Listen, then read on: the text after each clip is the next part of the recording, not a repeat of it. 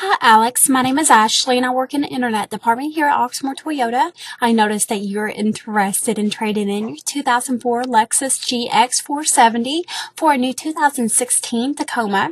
I went ahead and sent you over our current inventory in this email. That way you can look over what we currently have. If you have any questions regarding anything, please let me know. That way I can get more information. We would also uh, love the opportunity to appraise your Lexus for you.